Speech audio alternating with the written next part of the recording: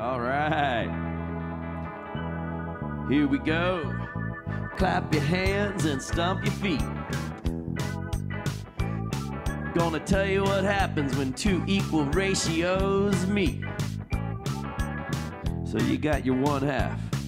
That's a ratio. You got your two fourths. That's, a ratio. You got your three six. You know the drill. That's also a ratio. Now, did you know that those, all those ratios are the same thing? There's something really cool that happens with this. Next thing I'm going to tell you about is something called the cross products. So back to that one half equaling two fourths.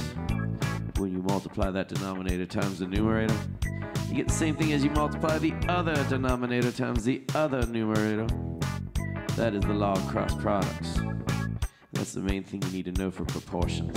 And they come in really handy. You can use a proportion. Cross products. You can use a proportion. Cross products be the same. You can use a proportion. You want to figure out how much to tip your waiter or waitress?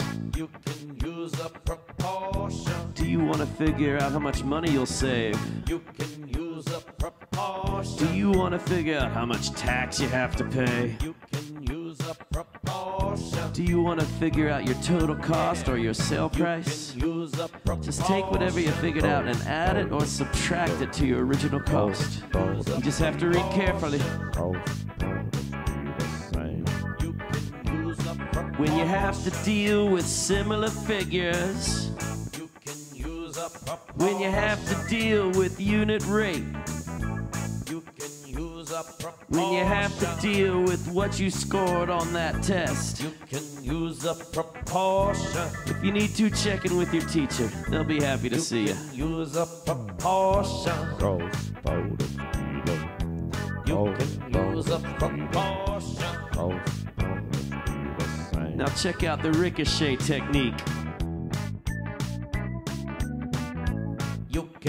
Use a proportion. You can use a proportion. You can use a proportion. You can use a proportion. You can use a proportion. You can use a proportion. Be the You can use a proportion. You can use a proportion. Yeah. One, two, three, four. Cross be the You can use a proportion. Cross be the.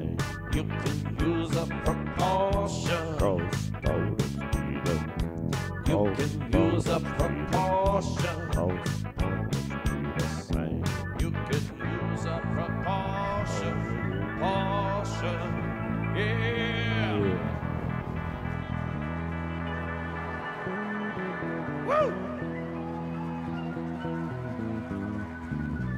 Can you feel it?